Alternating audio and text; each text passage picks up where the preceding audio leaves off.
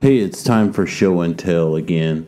And I've got a new carbon fiber shaft from China that I'd like to talk about here. But first, a shout out to Jacoby Custom Cues for making me this awesome radial to 3 8 10 mid cue joint extension.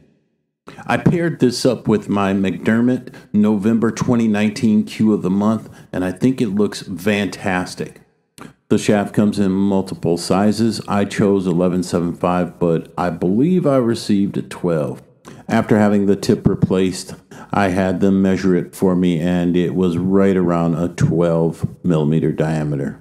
The tip that came with the shaft was complete junk. I had McDermott install a Navigator Automatic Super Soft, which is an outstanding tip in my opinion. Here's what I got with the shaft a radial pin, two gloves, and a joint protector. Not bad. Here's a good look at the taper. It's supposed to be a pro taper, looks slightly longer, but I like it.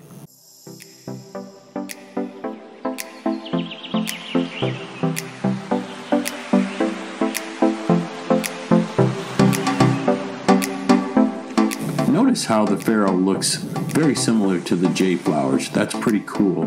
The tip, of course, was replaced with a Navigator Automatic Super Soft, which I love.